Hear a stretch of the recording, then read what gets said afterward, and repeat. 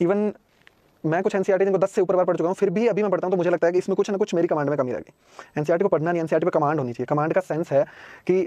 आप एक पैरा पढ़ रहे हैं तो आपके दिमाग में पहले पैरा में क्या नई चीज़ें वो बताएगा, अगले पेज पे क्या है, अगले चैप्टर पे क्या है, ये होती है कमांड आपको हर एक लाइन का, उसमें बहुत डीप मीनिंग्स होते हैं, हर एक लाइन का मतलब आपको पता होना चाहिए।